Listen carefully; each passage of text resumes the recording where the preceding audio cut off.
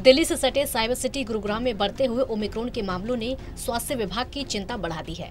गुरुग्राम में अब ओमिक्रोन के कुल मामले 16 हो चुके हैं, जिनमें से 15 ओमिक्रोन के मरीज़ पूरी तरह स्वस्थ हो चुके हैं और फ़िलहाल एक एक्टिव केस है। लेकिन जिस तरीके से कोरोना के नए वेरिएंट ओमिक्रोन के मामले बढ़ते जा रहे हैं, कहीं न कहीं इन बढ़ते आंकड़ों ने स्वास्थ्य विभाग की नींद उड़ाकर रख दी है। एक तरफ़ जहाँ स्वास्थ्य विभाग और जिला प्रशासन लगातार बढ़ रहे कोरोना के मामलों को रोकने की कोशिश कर रहा है, वही शहर के बाजारों और सार्वजनिक जगहों पर लोगों की उमड़ती भीड़ चिंता का विषय बनती जा रही है। पिछले सप्ताह से गुरुग्राम में कोरोना के आंकड़ों की लगातार शतकीय पारी जारी है तो शहर में लोगों की लापरवाही बढ़ती जा रही है। आ, बिल्कुल शहर में अगर मैं टोटल कोविड एक्टिव केसेस की बात करूँ तो 700 के करीब है छः के करीब हमारे पास मामले ऑलरेडी रिपोर्ट हुए हैं।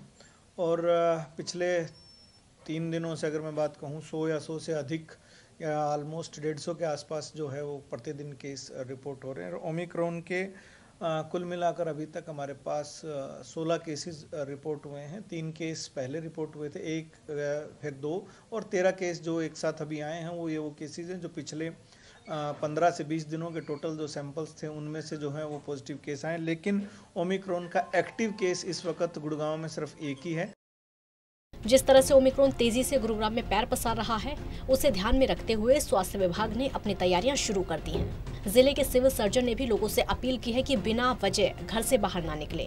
भीड़ वाली जगहों पर जाने से बचें और कोविड के सभी नियमों का सख्ती से पालन करें ताकि कोरोना जैसी घातक बीमारी से लोगों की दूरी बनी रहे। देखिए, ऐसे दिशा निर्देश तो जो मैं कहूँ या तो केंद्र सरकार या हरियाणा सरकार की तरफ़ से ही दिशा निर्देश प्राप्त होंगे।